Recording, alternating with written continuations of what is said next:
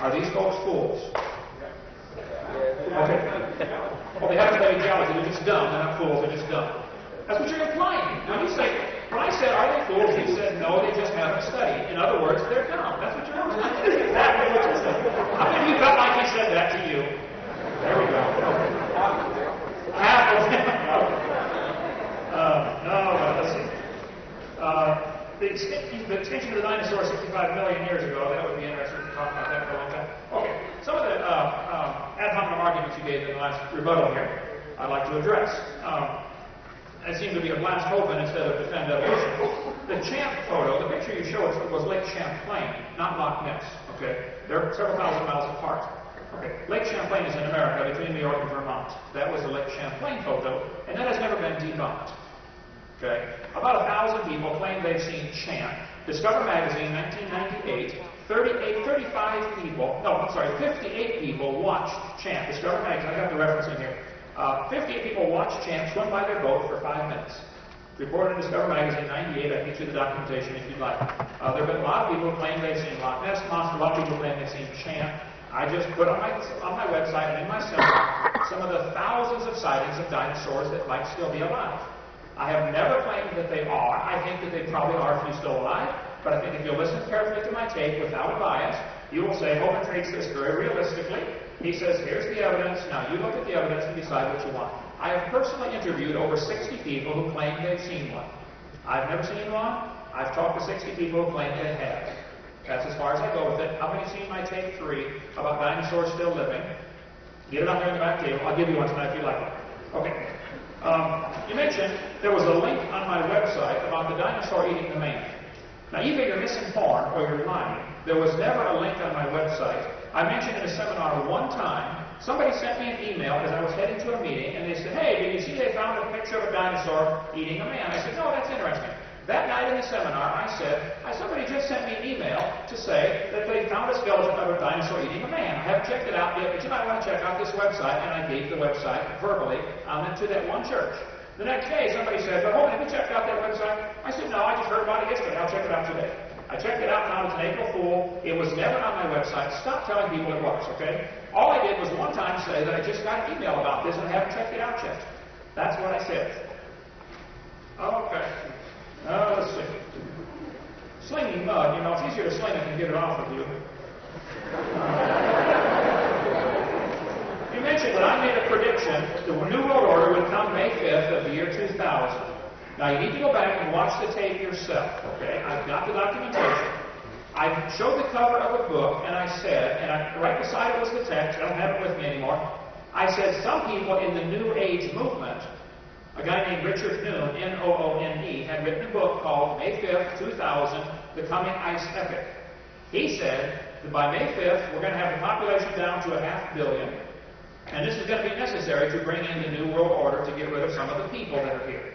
All I did was say some people in the New World Order would like the population reduced to, to, to, half a billion by May 5th. How many heard me say that in my seminars over the last few years? I never said it's going to happen. I said some people in the New World Order would like it to happen. Now, correct your seminar, please. Don't accuse me of saying that. I don't set any dates. I don't know when the Lord's coming back. Could be tonight. I hope so. Anyway. mentioned that I said 5 billion people could drown in Loch Ness and nobody would notice. Now that is just simply bad journalism or a lie. I said in my seminar, 5 billion, actually 6 billion people could drown in Loch Ness and nobody would show above the surface. That is indicating the volume of that lake is big enough to hold the entire population of the world. That is not saying nobody would notice. Now, correct your seminar, please. Okay, I never said that, and don't, don't accuse me of being a liar, because all I said was, and you check out the volume of Loch Ness, it will hold the bodies of six billion people. Figure it out for yourself. Okay. The Trail of Tears. When the Cherokee Indians were moved out of this area right here in 1938, uh, and then you mentioned, I said that, that what happened to the Indians is uh, largely responsible because of the teaching of evolution. Just because Darwin's book came out in 1859, you should know of anybody who teach courses on evolution. The evolution theory has been around long before that. Aristotle taught a form of evolution. He had his great chain of being in 400 BC. Charles Darwin's grandfather, Erasmus Darwin, wrote most of the uh, things that Darwin plagiarized in his own book and never gave his grandpa credit. The theory of evolution has been around since Satan in the Garden of Eden when he told Eve, you can be like God. That's what evolution says. Man is evolving and progressing. And what happened to the Indians was the result of the racist philosophy that one race is better than another, and the white man's manifest destiny is to rule this continent from shore to shore, and it is directly tied in with evolution thinking that one race is better than another. The Bible says very clearly, all nations are of one blood. Read Acts uh, chapter 17, Acts chapter 2. Uh, a couple other references talk about that. We all descended from Adam, and then later from Noah at the time of the flood. There are certainly no biblical reasons to be a racist. The Bible offers no justification for racism at all. But if you check the history, you find Adolf Hitler killed the Jews because he thought they were an inferior species. He also hated the blacks because they hadn't evolved far enough. Pol Pot killed half of his entire population because of his belief in evolution. He was a communist. He killed half the Cambodians because he wanted to help speed up the process. Adolf Hitler had decided that blonde-haired, blue-eyed Norwegians, born as the dog, yeah, sure you betcha, he said they were the superior race. And we could help out, we could speed up evolution by eliminating the inferiors. Evolution and racism go hand in glove. And yes, the Trail of Tears took place in 1938. I know the history about it real well. Uh, Sam Houston married one of the uh, Cherokee uh, princesses and uh, nearly quit Congress over this issue of what they were doing to the Indians. Because, but it was because of the evolutionary mentality. Just because Darwin's book came out years later does not prove my statement is wrong. Evolution's been around long before Darwin's book came out. He just simply gave a mechanism for how it supposedly happened. That's all. You should know that if anybody. I never said UFOs are Satan's way of getting around. Watch my videotape number seven. I don't you're coming up with this stuff. I have on my videotape number seven what we call frequently asked questions. I also have it on my website. I speak 700 times a year. I get lots of questions asked to me. One of the questions, you got my notebook right there, UFOs. You can read my answer in my seminar notebook. I'll give you one of those if you'd like it. I said, I don't know what UFOs are. I've never seen one. I've never even talked to anybody who has seen one.